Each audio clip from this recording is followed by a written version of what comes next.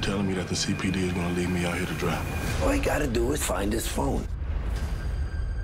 What up, y'all? This is boy Ace here. Welcome to After News Delight. So, a lot of times in these promos, I don't know exactly what they're about. A lot of the times, but uh this is definitely an Atwater centric case. Uh, first one of the season for him. And Atwater, if y'all already don't know, is not a fake character on Chicago PD, by the way. And so I'm loving the fact that he's getting another centric episode. His best episode to me, and he's had some good ones like the last two or three seasons. But I like the one with the Gold Rush, uh, the Gold Coast uh, girl that was uh, a victim of domestic abuse.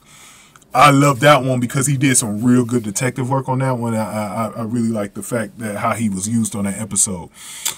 But uh, yeah, so it looks like it's like a white kid or something gets shot. He's with a black kid. I don't know if he was getting drugs or something like that, but his parents go public about uh, the case, and I guess the I guess he's getting blamed. Like Atwater's getting blamed in the public, and He's asking for, I guess he's asking for the police department's back on this, and uh, it looks very, it looks very, very interesting, man. Uh, we got the chief in there. We already went on the episodes how the, the chief is going to be involved because of his son Sean is trafficking minors. So we talked about uh, sex trafficking minors, and we talked about how that's going to be the season arc storyline of the season.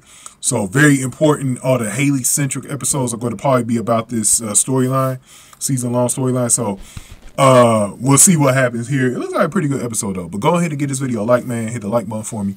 Share the video. Subscribe to the channel, especially if you're new in the zoo. Uh, any uh, comments I got, definitely put them below. And if you want to donate to the channel, hit the super thanks button below. But yeah, man, this was like a really good episode. I'm glad. I think Atwater is the last of the PD players to get a central episode this season. So uh, this one looks pretty interesting, man.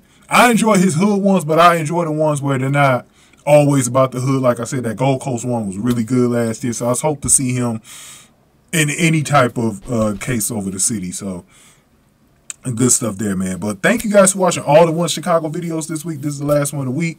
I'll see y'all in a couple of weeks on November the 2nd that week. Uh, no Chicago PD, Chicago Med, or Chicago Fire that week. So I will see y'all next week, man. Thank you guys for watching. Afternoons to Delight.